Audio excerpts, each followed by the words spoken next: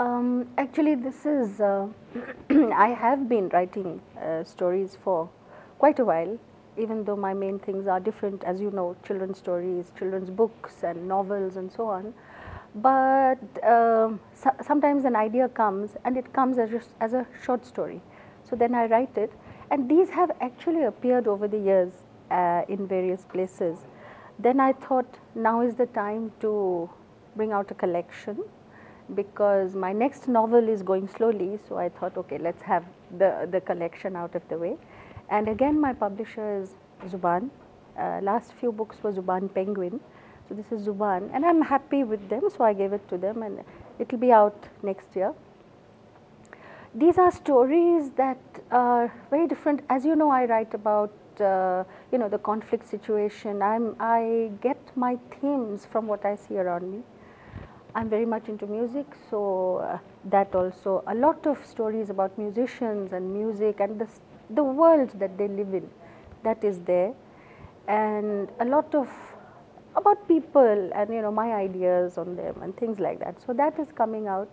There is no working title. There is no title working or non-working because in my experience, I after a lot of thought, I put in a title, and then after some more thought, I change that so we'll see what happens uh, once the title, once you know it comes out and it's time for a title. I'll do that. My situation is generally part of you know uh, India's northeast, but not necessarily. And some of them don't have a situation. It could happen anywhere. I because when it's a novel, you have to build up the surroundings. In a short story, I find you don't necessarily have to build up the, the, the surroundings you go in for that that particular incident. So you don't have to, otherwise, you know, it's always you have to bring in a town, you have to bring in uh, the people's backgrounds, the backstories. Here you don't have to in a short story. So that way it's more liberating. Uh, it, they could happen anywhere. But, uh, and I, for most of them, I don't think I've given them a name and, you know, of a town or anything like that and uh, in fact some of the musicians stories could happen. I, I, I, visualized one happening in a small town in UP another one in Delhi something like that. But I have not given any town name or anything like that. So these are more uh, not really that specific to the northeast. Um, they could be anywhere northeast or anywhere else in India. Um, uh, and why a short story and why not a novel? A novel is because basically, you know, these things could, they demand a short story. Now, uh, not a novel, not a poem, nothing like that. Because uh, what is it that makes it a short story is that, you know, this character reacting in a particular way to this. Now, what she has done before, what she is going to do later, I'm not really concerned with that. For instance, the other day, a friend of mine was saying he lost his wife. And you know he she was very much into gardening. And then the, after she died the garden was neglected. And uh, on the anniversary of her death a person whom he did not know at all she came and she gave him a flower pot and said that now it's time for you to start gardening again which is a, like a metaphor. And uh, and so he did, you know, he began to look after the garden and he took care of that pot and so on. So basically he was moving away from the, you know, carrying on with his life and so on. I think for a short story to come like that in a spark, it, it, it has to resonate with you. This somehow resonated with me. So this I put in and uh, I put in of course different kinds of aspects and so on. So the thing is that bare minimum of background needs to be given in a short story just enough for the short story to move forward. So this is an example. And then another thing that happened, for instance, in my music story, uh, somebody told me once about a very famous musician who was so engrossed in his music that his wife, you know, she needed to be taken to hospital for her baby, for her delivery. And he kept saying, I'm coming, tell her I'm coming, I'm coming. And he, by the time he came, actually the child was born at home, okay. But then in my story, you know, she, they, they wanted to, the family wanted to take her to uh, the hospital. She says, no, my husband is coming to take me. I will go only when he comes and she dies in my story. Of course, in real life, it has a happier ending. Uh, and the wife is always saying, you know, he never came to take me to the hospital. You know, he never came to see the birth of the child in any way. So I wanted to show the kind of, you know, the kind of all engrossing thing that music can be for dedicated musicians. So that's another story that I did.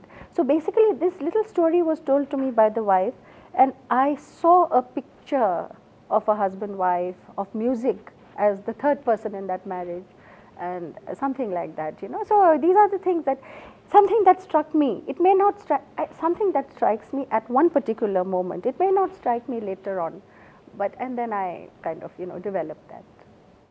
My protagonists are almost always women, which I think is a limiting factor because so many men write uh, with protagonists who are men, uh, who are women as well as men. Somehow, you know, I think along my, I am most empathetic to my women characters. And then the other day somebody was saying, but you know, I, and I think I do justice to the men, the chief men, I think. But then the other day somebody was saying, but you know, in this book, my, the collector's wife, you have, all right, you have shown his motivations and so on, the husband, you have shown his motivations, but you have not justified what he's done. Uh, whereas you have justified everything that the women are doing. Um, so that may be a drawback, but I do, um, I must try and get more men into my writing. Or I must think in terms of, you know, the, the male gaze or whatever. Yeah. No, I will not say, see everybody, every writer has a point of view. I take it as a point of view that okay, this writer, whether he is a man or a woman, whether it's a man or a woman, uh, it's his point of view or it's her point of view. This is what I find many limitations even of women writing about women. So that is neither here nor there. Uh, or men write excellently sometimes about women and men. Um, to go back to a very, you know, obvious example, Shakespeare's women. They are so much like women through the ages.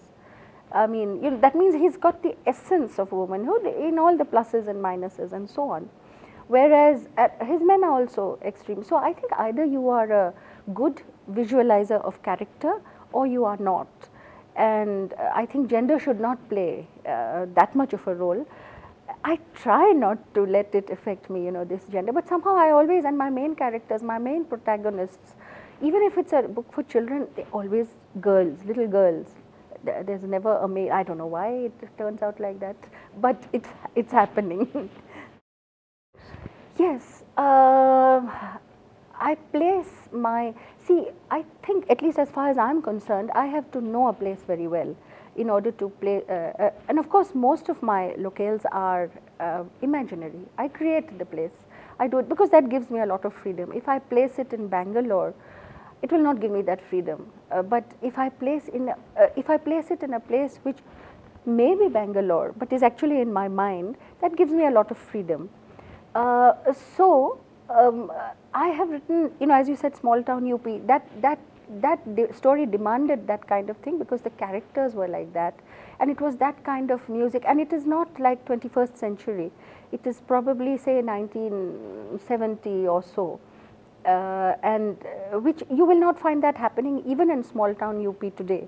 I put it back because as I said the story came from somebody of that time. So I tried to bring in, you know, that, that uh, how her home would be, how, what it would be like and so on.